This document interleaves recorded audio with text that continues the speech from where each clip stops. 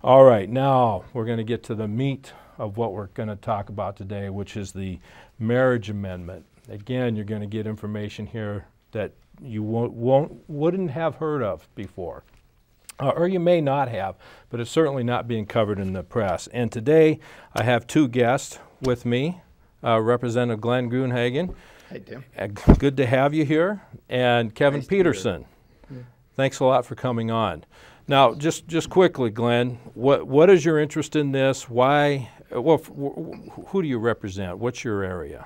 Well, I'm uh, House District 25A, which is eastern Sibley and all of Le Sueur County. That would be south southwest of uh, the metro area. Okay, uh, any cities in that area that would? Well, New Prague, Le Sueur, Arlington, uh, to just name a few. Okay, all right. And so then you, uh, you got excited about the, wh- what the- got you interested in this? Yeah, one of the reasons I uh, ran was I do believe that traditional marriage is under threat. And uh, if we want to preserve it, we do have to take certain steps in order to protect it. And to me, it's the economic cornerstone of Western civilization. But let me just read the uh, the uh, ballot question that will be on Yeah, this be. Uh, this November for Minnesota voters to vote on. It will say, shall the Minnesota Constitution be amended to provide that only a union of one man and one woman shall be valid or recognized as marriage in Minnesota? That is in currently in state statute, but we in the legislature decided that uh, because of decisions we've seen in other states, most notably Massachusetts and Iowa, where a small group of judges overturned uh, marriage laws, that the uh, that the people of the state of Minnesota should be able to make a decision on this and not rely on judicial activism. It's important also for your viewers to understand that there currently is a lawsuit in the courts in Minnesota to overturn traditional marriage. There's a couple of them, I think. Yeah, right? there's a couple of them. So the potential is there. Also, um, there have been House files introduced in the Minnesota uh, legislature that would overturn marriage. Uh, again, those of us who supported marriage, and it was a bipartisan effort, uh, some Democrats did vote for it in the House and the Senate, but it was primarily uh, Republicans that uh, gave the majority on it. Uh, we we believed that marriage as an institution in terms of children and its economic value to society should be decided by the voters of Minnesota. Uh, this type of an amendment has been voted on in 30 some states, and it's passed in every state that it's been on the ballot. So we're here tonight to discuss some of the ramifications and help people better understand uh, the value and the necessity of uh, passing the amendment. Just one quick additional Okay. uh, comment, Tim. Uh, this fall, in November 6th, uh, you can vote yes or no on the amendment. I urge you to vote yes. However, if you don't vote at all, and this question will be on the back of the ballot, uh, it will be counted as a no A vote. no vote, okay. Yeah, standard for constitutional amendments. Correct. All right. Um, so, Kevin, how what what drew you into this uh, marriage amendment uh, debate and constitutional amendment political stuff? I uh, have never seen you speechless before. yeah, Uh, I'm I can Kevin, get there. I'm uh, Kevin Petersen, and uh, back in the '80s, I was an active member of the gay pop culture. I was marching in a couple of parade, gay pride parades, one in New York, and uh, I was as also an activist. And one of the things I fought for was a redefinition of marriage. So, been there, done that, but I left that lifestyle Wait, in that, my early mid 30s. okay, that's not that's not supposed to happen. No, no, and it, it uh, doesn't happen very often, but often enough. Okay. It, I can only speak for myself. It did happen and successfully. Okay. And about 13 years ago, I married uh, the most beautiful woman in the world.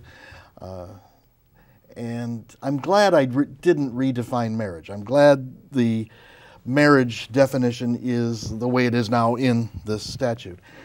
So when this amendment was passed by the House and the Senate last year, it, I knew it was going to get on the ballot, and I wanted to help out, and I wanted to help, uh, you know, make up for some of the things I did back then. Uh-huh. And so I joined uh, Glenn in his efforts to tour the state and to talk to people. Uh, uh, Democrats, uh, Republicans, liberals, conservatives, and uh, even uh, libertarians, and explain to them the history of marriage and the constitutionality and why the state has an, has an important uh, role in the definition of marriage and why it's important we do not redefine marriage.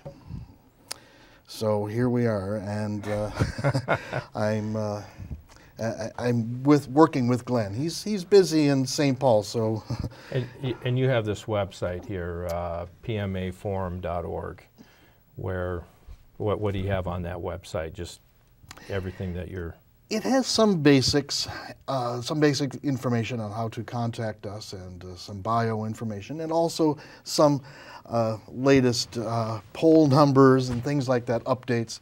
And we also uh, keep people informed where we are in the state and what we're up to, and and how they can also get involved and help us get the word out on this amendment and why it is so important. Because this is our last chance. It is on the ballot. If it does not pass in November, word will get out all over the state, all over the country, mm-hmm. all over the world. Minnesota mm-hmm. is ready for a redefinition. Mm-hmm. The money is pouring in now to make sure Right. it doesn't pass, but the floodgates will open. The offices will be set up in St. Paul to lobby for a change in the definition, in the in the statute def, in the statute, in the definition of marriage. which happened in New York last year. New York State did that. Okay. All right, well, people, you may not know this, but uh, Representative Gruenhagen, I, if you ever watched, uh, and I played some clips of you on my show, but he's probably one of the more entertaining legislators down there. And kind of today, I've had the privilege of following him around. I actually filmed a, a hearing this morning at 8:15, so you're an up and at 'em at 8:15, and then you went and spoke at a uh, at the University of Minnesota Law School for a marriage debate with Correct. some uh, other reps and uh, University of Minnesota professors. And then you had to go back for the House uh, floor session, and then you're up here tonight. so you, you, you've been busy, and but I tell you, here's one, one thing that I've observed, okay? When you speak, the other side is going, what is he going to say now? and you know what? Here, this is what happened down at the University of Minnesota. You gave your first seven minute laying out your position, and you said things that I know some of these students never heard before. And so why, why don't you kind of go over some of, of what you said down there that, because people don't hear this. Yeah, the uh, just touch on a few of the points. One is, you know, some of the opponents of the marriage amendment say, well, you're writing discrimination into the Minnesota Constitution. Well, the first thing I want people to understand is uh, law discriminates all the time between uh, right and wrong behavior. So there's good discrimination and there's bad discrimination. Uh, but to say never discriminate means we would never d- decide that stealing is wrong or defrauding people is wrong. Okay, we have the right to discriminate. Uh, Well, that, isn't that the kind? behavior. Isn't that the kind of the same thing as saying uh, you can't legislate morality? I mean, people say that too, Yeah. which doesn't And- make any sense. But Uh, uh, correct. That's the other uh, phrase that you hear besides writing discrimination into the uh, uh, Minnesota Constitution is you can't uh, you can't legislate morality. Well, that is a complete misnomer. Every law legislates morality because it it it states what what we believe in state statute is right and wrong behavior of human beings in mm-hmm. almost every area. So every law legislates morality. Now, some of your viewers probably have never heard that before, okay? But I'm Well, I guarantee you they've heard the other. yeah, they've heard the other. You know, it's easier to believe a lie you've been told a thousand times than the truth the first time you hear it. I'm telling you the truth. Every law legislates morality because it decides and believes on what is right human behavior and what is wrong bu- human beha- behavior. Wh- Which includes uh, how much money should we spend for education? And the pro uh, education system to, that wants to pour a lot of money into the system, that, that education system is saying we are being immoral because we're not spending enough. That- They're saying, they're making a moral claim. There but are these some the of those same, peop- But these are the same people that would say you can't legislate morality, you know? Exactly. So, But they say it's immoral not to spend more on public education. Right. Yeah, or on whatever their favorite government program is, okay? Yeah. Well, uh, Mr. Petersen, while you were uh, in your uh, gay activities and, and lifestyle, uh, wasn't this a morality issue for you in some regards, or maybe there's a better way to phrase that? No, that's, that pretty much uh, uh, sums it up because when I was when I was in that lifestyle, it's more than just uh, a same-sex attraction. Being gay meant everything. It's every part of your life. It's uh, where you lived, what you drove, where you worked, it and where you worshipped. It was every part of your life. It was not just uh, uh, one single uh, part of your life. It was all of it. And morality, yes, we, we did we do have a very strict moral code, uh, and we want everyone else to not only acknowledge it but to endorse it too, and uh, that's why I also want to speak to those who are supporting the marriage amendment to understand that those with whom we we are opposed are not devil incarnate. They're- I hear people say they're all a bunch of liars and they're just they're the voice of the devil. You're, you're getting nowhere with that. These are very, very real people who have very strong feelings about this issue, and it is everything to them. It's not just a token uh, gesture of a, a wedding with a cake with two boys on it. it. It's it's more than that. It's it is everything to It's them. their reality. And to understand that you can't argue on that uh, moral issue by just referring to them as uh, devil incarnate, as you know, as I was. I was many times, and uh, nobody gained points with me uh, talking like that. So, to understand that and to work with them and to realize that even homosexuals and bisexuals and um, uh, uh, Catholics and Buddhists, everyone will benefit with this definition in the uh, Minnesota Constitution. Without it, without the state recognizing marriage for what it has for hundreds of years, there will be chaos, and everyone will be affected by this chaos. Well, that, that was one of the questions that came up. I mean, you may have some more to add on, on some of your uh, introduction speech, Sure. but that was one of the issues that came up is, is this chaos. Da- Down at the University of Minnesota, um, the, the debate there at Yep. the law school was that this, without this definition, things get destroyed. Uh, and let me just say a couple things here, and then I'd like to address Yeah. that question. Is, you know, Minnesota law prohibits a whole host of relationships, okay? It's just not yeah. men marrying men or women marrying women. It's fathers marrying their daughters, uh, mothers marrying their sons, uh, adults marrying uh, children, uh, you know, uncles marrying nieces. It, there's a whole host of relationships. So again, we discriminate in favor of marriage because historically, marriage, traditional marriage, has proved to have some tremendously positive benefits for both men and women, but especially children.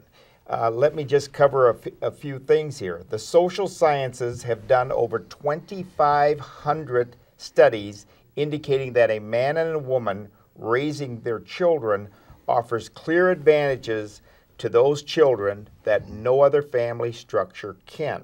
Now, here are a few of the benefits.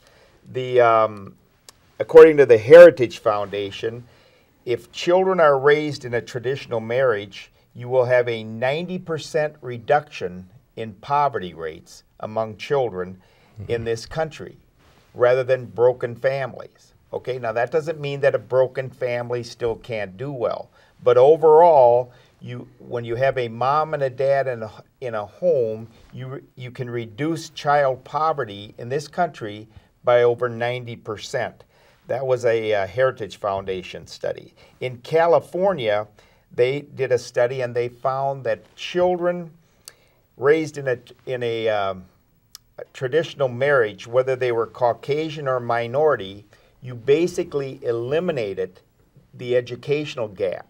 Now, if your viewers aren't familiar with that, that is a huge problem in the state of Minnesota and Right, other states, right, especially in the inner city, because you have an educational gap between Caucasian students and minorities on average across the state. So we have spent hundreds of millions of dollars, Big- even billions of dollars over a period of time trying to eliminate that gap. What we have found in the studies is if we would simply reinforce and support the traditional family without spending millions and, and billions of dollars, that that educational gap between minority and Caucasian children not only reduces, but according to the California study, it actually is eliminated. Okay?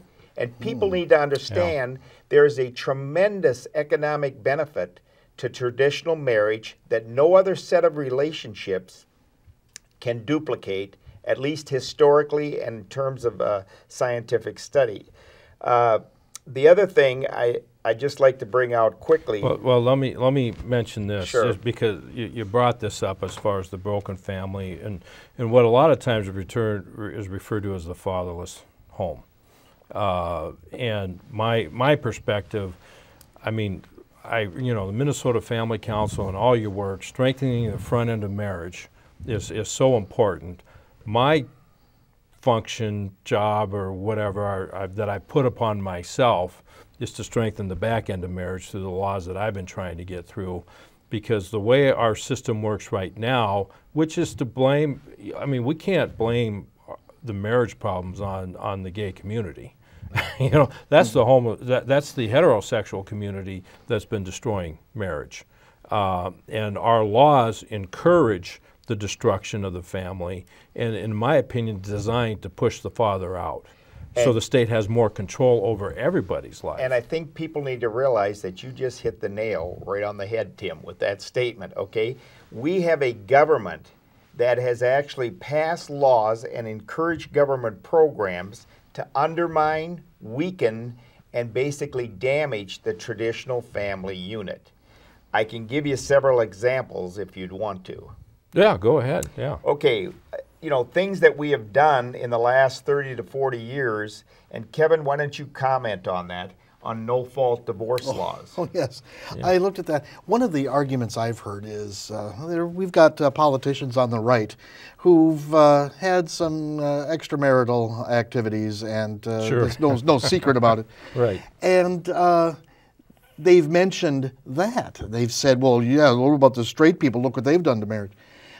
Uh, primarily, this all goes to this thing that started in California by the First Lady of California in the 60s. No and there were very, there were quite a few vocal opponents to no fault divorce.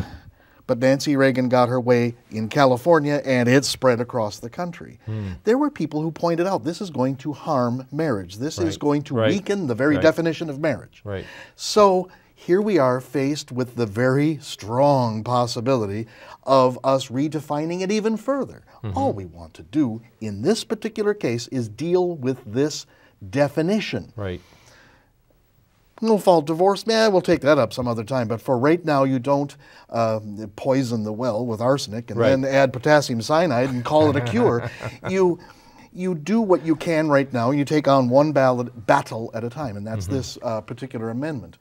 And in the case of these people who have violated their uh, wedding, uh, their marriage vows, and so on.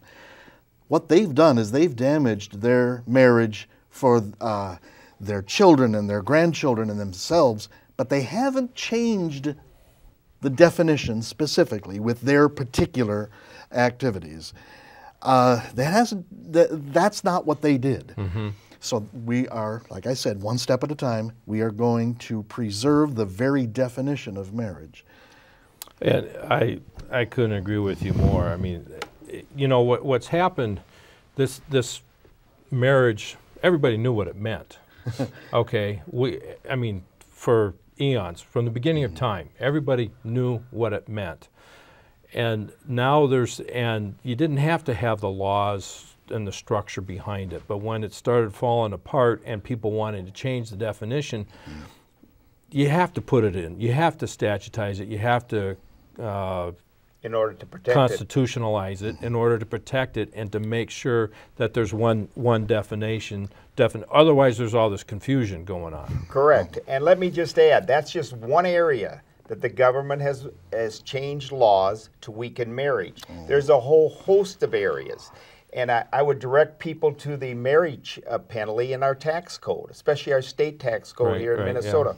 We tried to repeal that last session. That was uh, vetoed by the governor, uh, is my understanding, and we were not Right. able to do that. Right. So we penalize people who are married in terms of how we tax their income because they have to stack their income Right. versus couples living together who don't have to stack their income. Right. And the result is they pay, excuse me, a higher tax rate.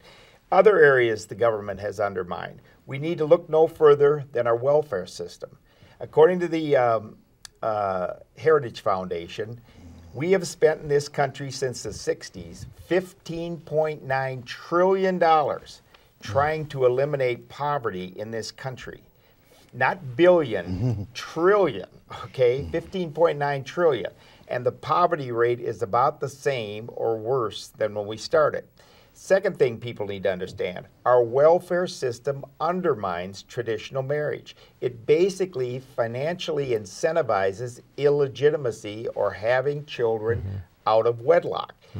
Anybody who's observed the system understands how that works uh, women having children out of wedlock actually get additional funding uh, Yeah. from the from from the welfare system, and it, it it relieves dad of his responsibility and basically says to men.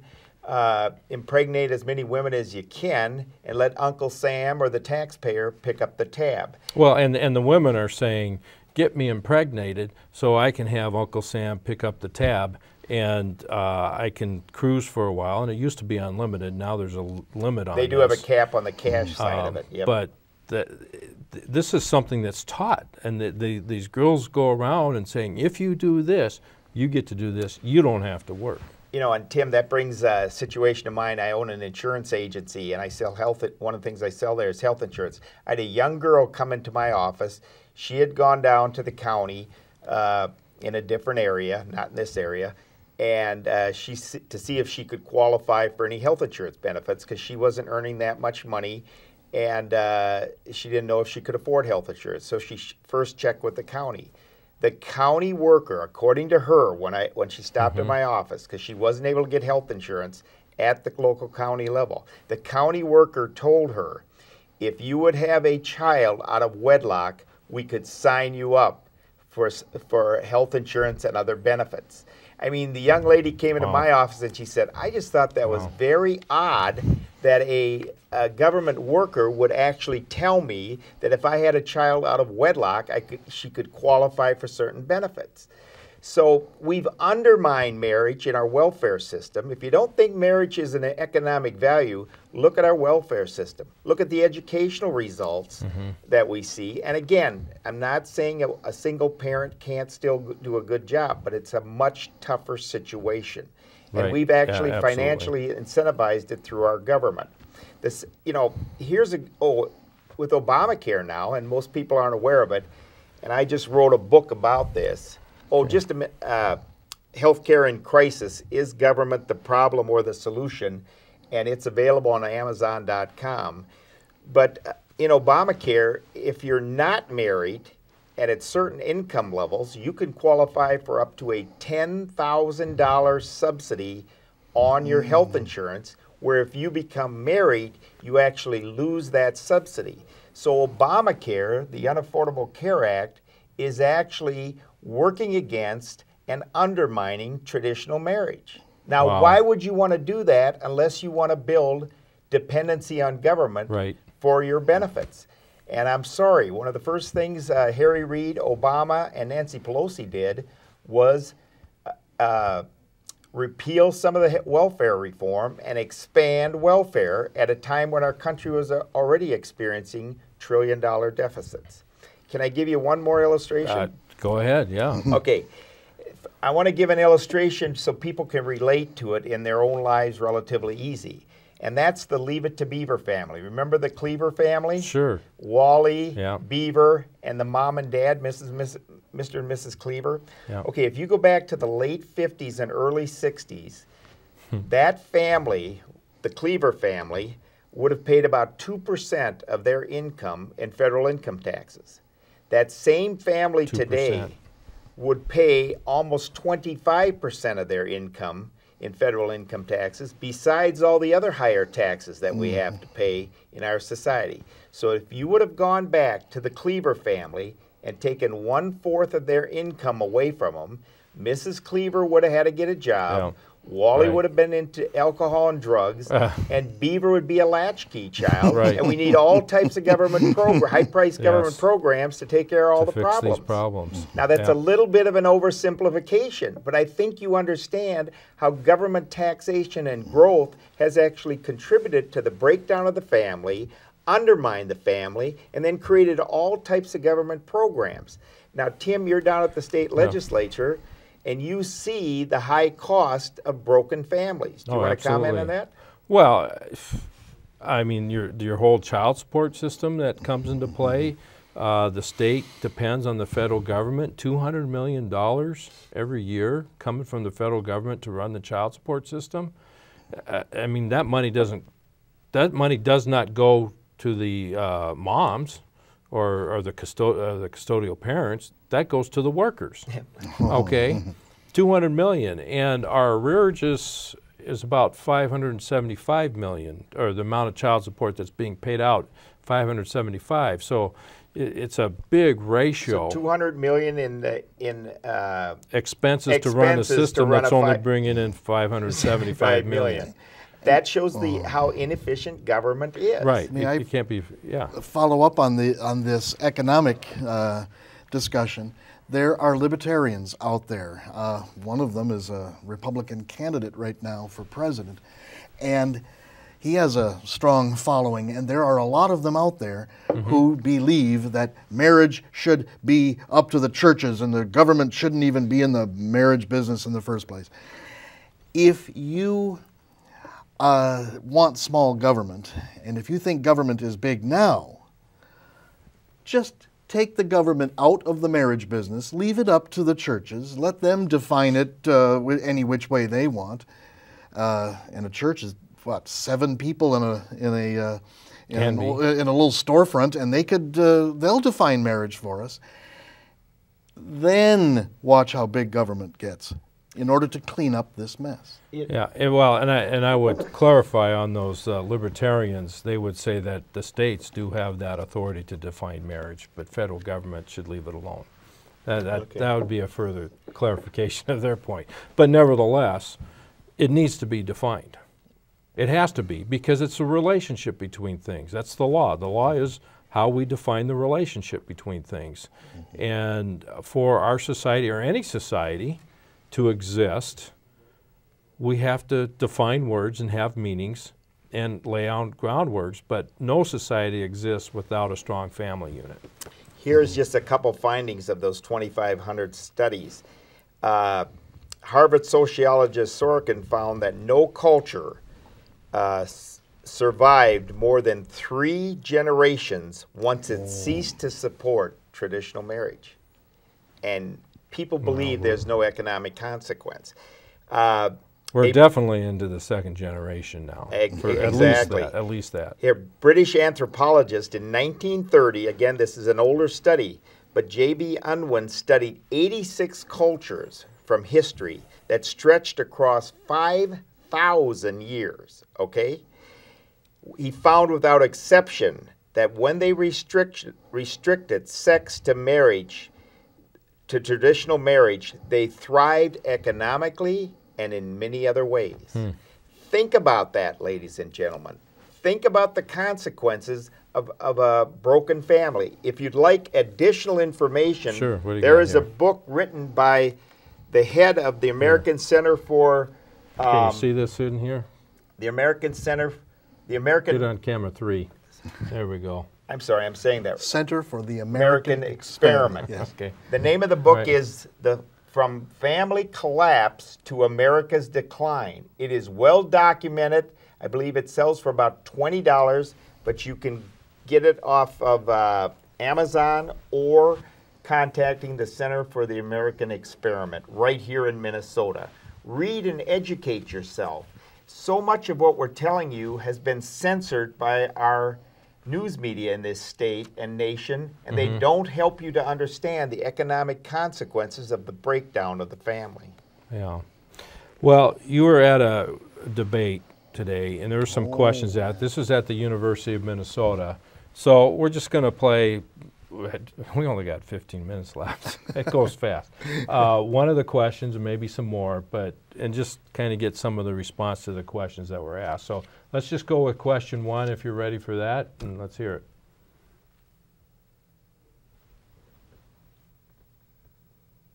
Eventually, we'll get it. First question I'm going to direct to Dr. Morrison, Representative Gruenhagen. Same-sex marriage is already illegal in Minnesota. Why constitutionalize the definition of marriage when it already is against the law for same-sex couples to marry? All right. Well, Mr. Petersen? Okay, this is uh, very simple. As uh, Glenn mentioned, it is already the law, but it's a statute. It's not part of the Constitution. And we're not uh, changing the law in the state. We're just taking it out of the statute and putting it into the Constitution where it, where it should stay and where it can be untouched. We had uh, two years ago a state uh, senator who took out a bill to redefine marriage, and it uh, didn't pass. Uh, but uh, it'll it will come out again and again and again and again. It happened in New York, where Republicans and Democrats uh, changed their vote in uh, May, when as early as, as, as, late as April, they said that they would not vote for this redefinition in the New York uh, law. They changed their mind, and again, this was Republicans and Democrats who switched their vote. This means that campaign promises will mean less than nothing. If we elect someone to the State House to protect the law as it is in the statute, that uh, there's no guarantee they won't just change their mind at the last minute, Right. like they did in New York State. Right. Due to political pressure? Or Right. or in their case, a lot of money came into their coffers after that. All we are doing is putting it into the Constitution where it will be safe. it will stay there.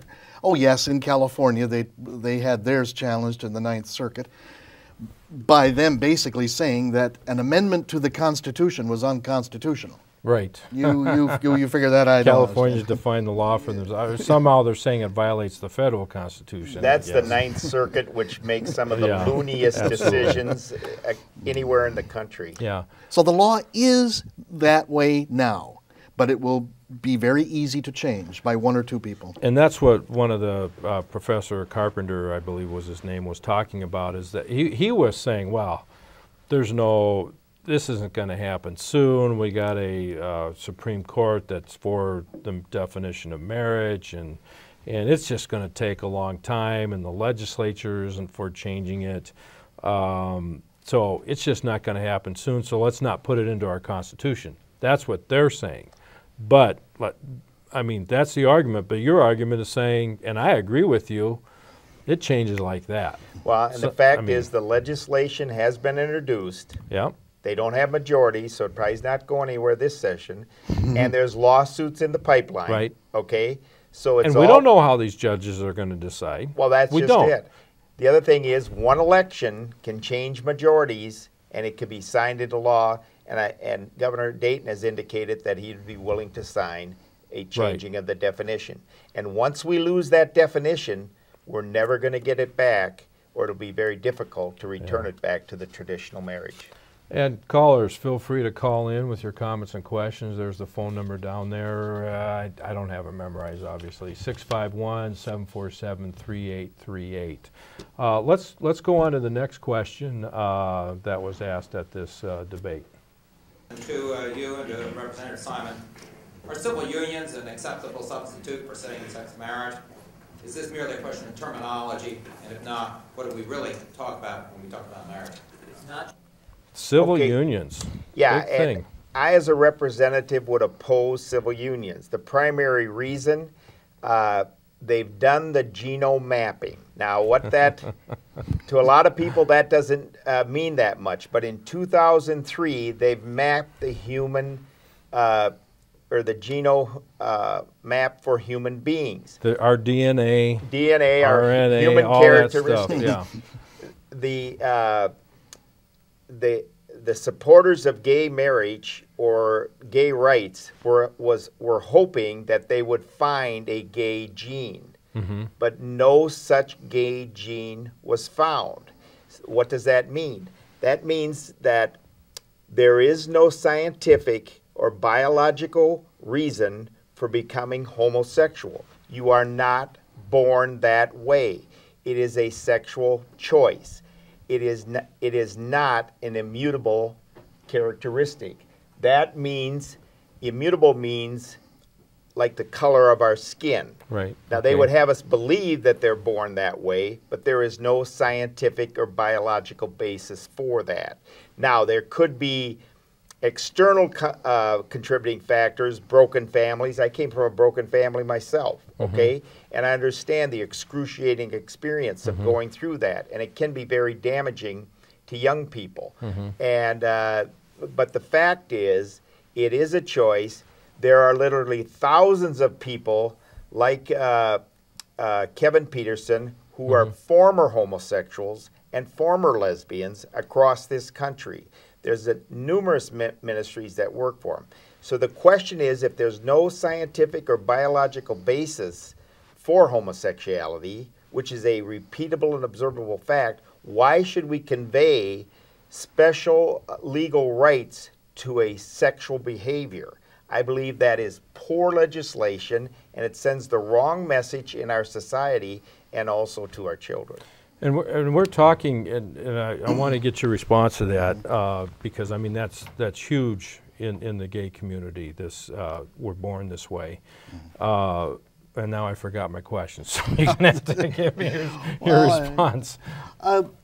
my I, I differ with uh, with Glenn on this only because this specifically is about the definition of marriage, and these uh, th- Yeah. there are laws all across the country for domestic partners, and Right. that you know a man and a woman who decide just to shack up, and, you know that's their business, and they want to have the insurance benefits or f- whatever. Uh, this this amendment does not affect that at all. Right. These laws can be passed in the legislature uh, at, at any time, and the amendment will not affect any of that. And you know, the laws that would protect uh, domestic partners from seeing each other in the hospital, it's I've Which- never known never known that to be a problem. Which I, you know, I have, we did not have one testifier in committee claiming that they were prohibited from seeing uh, their partner in the hospital. Uh, so they make these claims, Okay. but it doesn't seem like but there's a lot of people who are experiencing that type of problem. But even if it were true, you don't need to redefine marriage to solve Right. that problem. Exactly. They Exactly, should bring yeah. these uh, before the legislature and pass an ordinance or a, a specific law uh, to deal with that. You don't need to redefine marriage to do it. Now uh, we have a caller here, but um, j- so I want short answers on this so we can get to the caller. we're, we're some of this we're talking about feelings versus behavior. I mean, uh, heterosexuals or gay, we have feelings. We we have a feeling to do something, but we don't get to act. Everybody doesn't get to act on their feelings. if I feel like stealing, if I feel like uh, killing somebody, if I act on that behavior, things come down. You know, the government comes down hard we can't do what we feel like all the time. We have to look at what state statute and what uh, is morally right and correct. What do you think about that? the uh, feelings are, of course, uh, muddying the waters on too much of this, and uh, there specifically has marriage has never been recognized as an individual right. It's always been recognized as a union, recognized by the state for the benefit of society, not the benefits of the individuals in it. Yeah. And uh, marriage is an obligation. My my marriage with my wife obligates the state to recognize it and also obligates you to recognize it. It is an obligation on everyone's part to recognize marriage. That's why it's not a private matter. Mm-hmm. If this if that were not the case, why are we talking about this? It's because there are other people who want their particular relationship recognized by the state and by you Right. as a valid marriage. Yeah. People Uh, should also realize before we go to the caller, there's tremendous ramifications to religious charities and religious organizations if we redefine marriage, and also to the educational system of what will be mandated and taught down to an elementary level Right. in states that uh, have redefined marriage. Okay, we could go into some of the specifics, but this is a uh, family program and not an adults only. It, if Yeah. if people were to see some of the so-called educational materials that have been pushed down into schools in states like Massachusetts, it would be reprehensible. And that's right. maybe for a different program. Yeah, yeah. Okay. Caller, thank you for waiting. Do you have a comment or a question? Uh, well, I actually have some uh, additional information that I wanted to, to share with your uh, guests. Okay. Is that in in And you Maplewood, make it quick. Uh, we have a human rights slash human relations commission, and I just wanted to mention that this issue about the marriage amendment was discussed at a re- recent meeting of the commission, and it was brought out that a number of commissions similar to the one in Maplewood have been coming forward with resolutions, uh, either, well, primarily, I guess, uh, in, in opposition to the amendment. And but in Maplewood, they actually decided that rather than coming forth with a resolution either for or against, that really what their role was more to have an educational forum where people on both sides of the issue could come to a forum and then people from the public could come and attend and be able to hear both sides and be able to ask questions. And so I just wanted to put it out there in that maybe your guests might want to get in contact with the Maplewood uh, Human Rights, Human Relations Commission uh, and find out what the schedule might be for that. Uh, because it sounded to me, uh, it wasn't a unanimous vote, but certainly the majority of the members on the commission appeared to be uh, thinking that really their role was more of one of providing education and an opportunity for both sides to give their position so that then citizens, Okay. when they go to vote, right.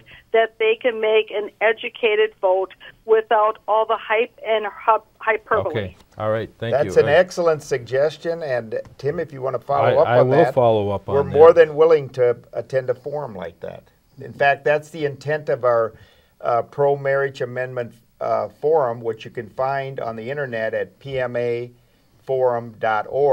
That's the intent of our uh, organization: is to get to the public, debate these issues publicly and respectfully, and uh, to Mm-hmm. uh, help educate people and have them hear both sides of the issue. Thank you for that call, and it is greatly appreciated. Yeah, thank you very much, caller.